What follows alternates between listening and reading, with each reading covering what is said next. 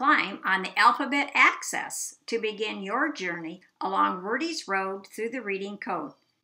Hello, my name is Marilee from Raising Robust Readers. Welcome. Here at this Stop and Learn module, I will teach you all the sounds and gestures of the alphabet phonograms using nursery rhyme melodies that you already know.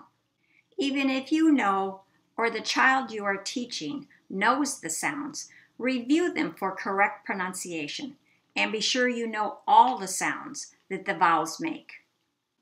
Just like forks, knives, and spoons are organized rather than thrown all together in a drawer, we organize phonograms for students as well.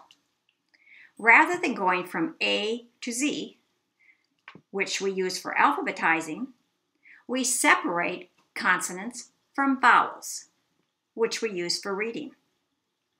So you will begin learning them in this order, from simple to complex. Single sound consonants, multi-sound consonants, and the vowel sounds. Stop and learn each phonogram ditty and gesture. Gestures are a great multisensory learning tool and especially useful when learning multi-sound phonograms. They make learning more fun too. Imagine singing the Itsy Bitsy Spider without using your hands. You can download the songs, lyrics, and phonogram cards from the resources at the end of this lesson.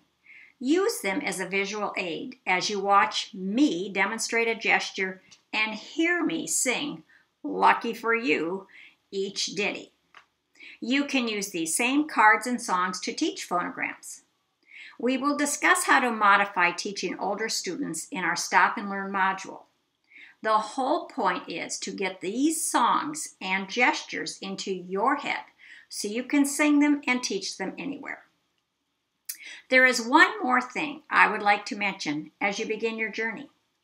Order and sequence is important for children to understand the logic of English, and especially so for children who struggle. But when there is a need or a teachable moment, fill it. If you have a child whose name is Charles or Sherry, or who likes Cheerios, or you're going to Chuck E. Cheese, go ahead and teach CH. A little detour here or there will not disrupt the journey. Just get back on the road and teach the code.